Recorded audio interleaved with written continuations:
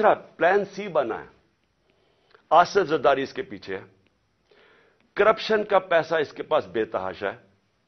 سندھ حکومت سے یہ باقاعدہ سندھ حکومت سے جو پیسہ لوٹتا ہے، وہ یا الیکشن کے اوپر لگا دیتا ہے، یا سینٹ کے الیکشن میں ایم پیز کو خریدنے پہ لگا دیتا ہے۔ جو بھی الیکشن آزاد کشمیر کا گلگت بلتستان بے تحاشا پیسہ پھینکتا ہے، کیونکہ چوری کا پیسہ ہے۔ یہ پیسہ اس نے لگایا ہے، ایک دہشت گرد تنظیم کو اس نے پیسہ دیا سہولت کار اس میں طاقتور ایجنسی کے لوگ ہیں، جو یہ مل کے تین طرف یہ فیصلہ ہوا ہے اور انہوں نے اگلی واردات کرنی ہے۔ میں آج اپنی قوم کو بتا رہا ہوں۔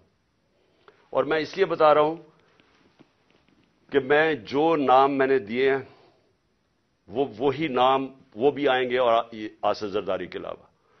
تو میں اس لیے یہ کر رہا ہوں کہ زندگی موت تو اللہ کے ہاتھ میں ہے۔ میں نے تو نکلنا ہے۔ جیسے میں ٹھیک ہوں گا، میں نے تو اب الیکشن کیمپین پہ نکل جوں گا، نہیں تو ویسے کیمپین پہ نکلوں گا۔